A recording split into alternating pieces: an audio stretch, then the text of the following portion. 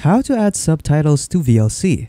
So that's what I'm going to show you guys in the super quick and easy tutorial. So without further ado, let us begin. So first, let's just open up a video that has subtitles. So as an example, I'll just open up this video right here of Nosferatu. So I'll just open that up. And then after opening up your video, so to add subtitles, what you want to do is go to the top right there and then there's an option right there that says subtitle. So just click on that and then you can either add a subtitle file or use the subtitle file that is in your video.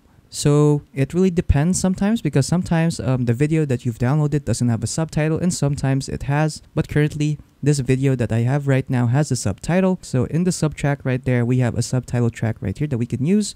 So I'll just click on it and then when I click on play, as you can see that there are subtitles. And then if you want to disable it, just go back to subtitles, go to subtrack, and then just simply disable it. But let's say you don't have the subtitles for your video. So again, what you can do is you just simply add a subtitle file. So that's usually an SRT file, or you can just simply search up for subtitles in, the, in your web browser.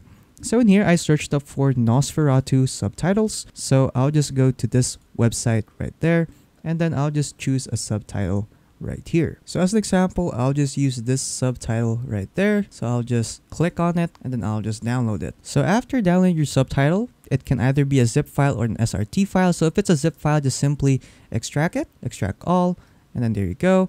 And then in here, you'll you'll need to have an SRT file. So this is what we're going to use for the subtitle. So there you go. So you can either move this on to another location and where you can access it it easily or you could just leave it right here. But for me, I'll just move it to another folder so that I'll access my subtitles easier. So I'll just drag the subtitles to my movies folder right there. There you go.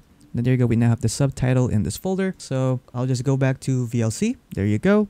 And then to add the subtitle, again, just go to subtitle right there, click on add subtitle file, and then just go to the location in where you have your subtitle. So for me, it's in my movies folder right there and then I'll just look for the SRT file. So it's this one right there, Nosferatu. So I'll just click on it, click on open, and then the subtitle track has now been added. So when I go to subtrack right there, we now have a new track and this is the new subtitle track that we have added. So there you go. So as you can see when you click on play, there are no subtitles in the video. And then after that, you're pretty much done. So yeah, that's pretty much it on how to add subtitles to VLC.